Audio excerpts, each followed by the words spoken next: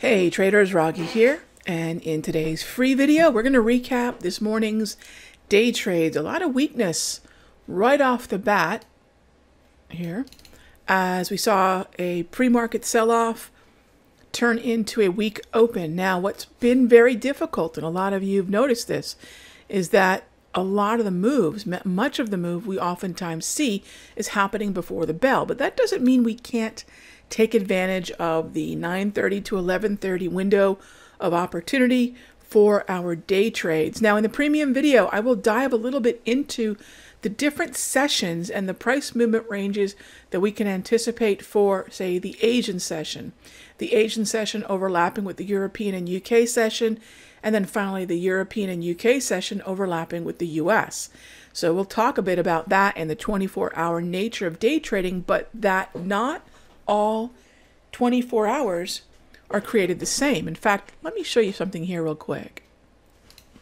Here is the Dow hourly price movement range. And these are what I refer to as the HPMRs.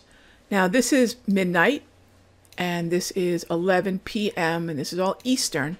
Notice where the bulk of volatility occurs. Notice where we get a drop off. This is the Asian session, gang. This is 8 p.m. to 11. This is midnight to about 4 a.m. Notice how much less price movement range we get, and then take a look at the boost higher when we get the New York session kind of getting going. I call 7 a.m. the first cup of coffee in terms of the New York session sort of waking up and the price movement range is starting to to increase and then 8 o'clock is oftentimes an interesting increase because we do have 8.30 economic events so volatility increases as well.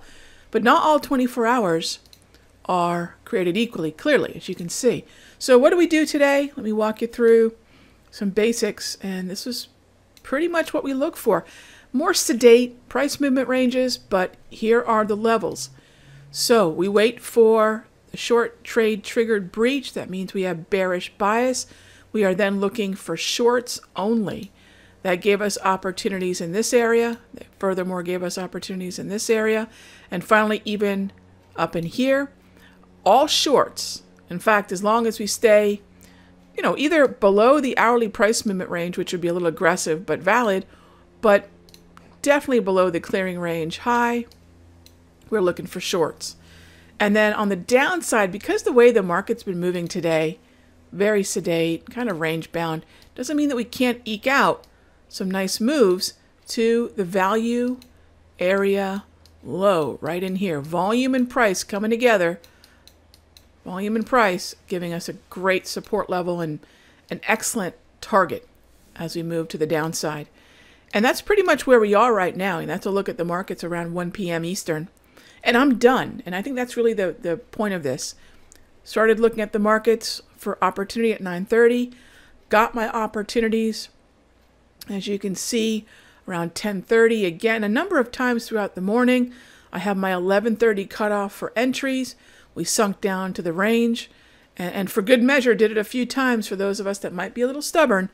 And we did this in the YM, ES, and Q and even the RTY. We'll review all of those in the premium video, but this is the kind of trading I like to do this time of year, gang. Two hours and done. All right, I'll see you in the next update.